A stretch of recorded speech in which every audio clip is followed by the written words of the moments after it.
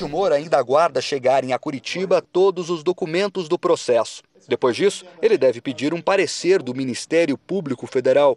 O ex-presidente da Câmara é acusado de receber propina de um contrato da Petrobras de exploração de petróleo na África. Ele teria usado contas na Suíça para lavar o dinheiro. A mulher dele, Cláudia Cruz, também responde ao processo. O aliado de Cunha, o deputado federal Carlos Marum, do PMDB, o delegado do caso diz que o foco da investigação são as empresas Alstom GE e NRG.